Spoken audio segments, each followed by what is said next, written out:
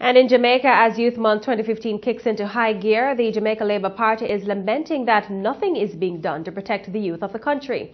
At a press conference on Monday, it was revealed that from the start of the year to October 24, 54 children have been murdered, 38 boys and 16 girls. Opposition spokesperson on education, Senator Kamina Johnson Smith, says despite this fact, coupled with thousands of reports of child abuse, the government continues to only pay lip service to violence against youth.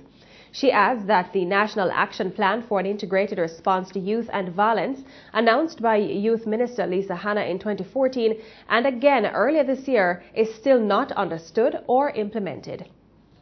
So I have some questions for the Minister. And the first one is, Minister, where is your plan? Where is your plan in respect of violence and youth?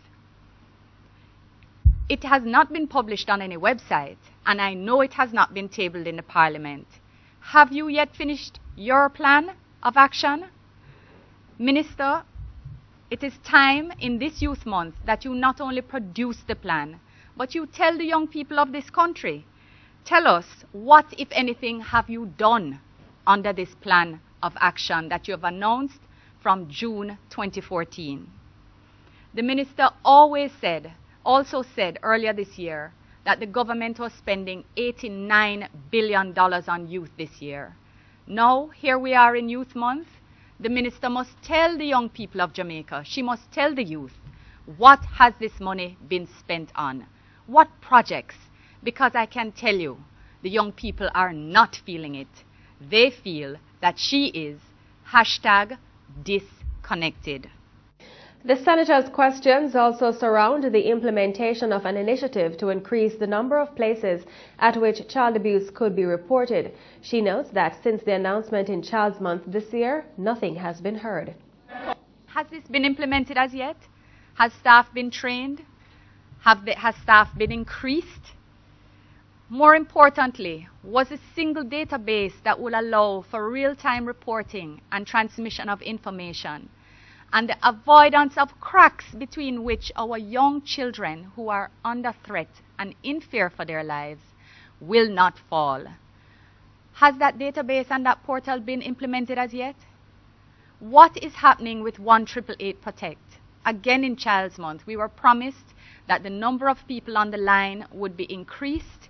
We were promised that they would be staffed for 24 hours, that they had additional resources that were going to come on board what is happening. Up to last night, we tried to get through at about 9.45. We tried for 20 minutes, and the line was busy the entire time. Is it dis disconnected too?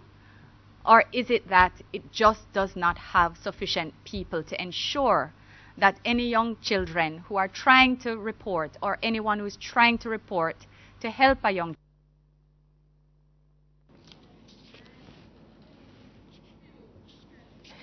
Mrs. Johnson Smith adds that in February 2013, she moved a motion in the Senate for the review of four laws relating to the abuse of children, women, the elderly, and persons living with disabilities. She says both sides of the House agreed in October that year to the establishment of a committee to undertake the review, and the committee started working in 2014 but was discontinued by the government in December 2014. So while the Prime Minister is calling out demons, we want to know who is doing the work, who is making sure the review in laws takes place. I have an answer for you. It's not the government.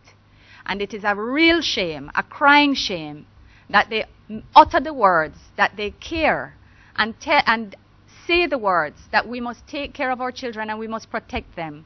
But they have a committee established in Parliament since December 2014, almost a year, it has not been allowed to restart its work. It's a crying shame and another example of the fact that they are hashtag disconnected, this time from the real work. The opposition senator also expressed concern about reports of teenage pregnancy trending down. She says while the news, if accurate, would be welcomed, the data being used references from the 1970s to 2008, which would not be a fair comparative to the present day. Mrs. Johnson-Smith notes that there has been no survey on sexual and reproductive health since 2008.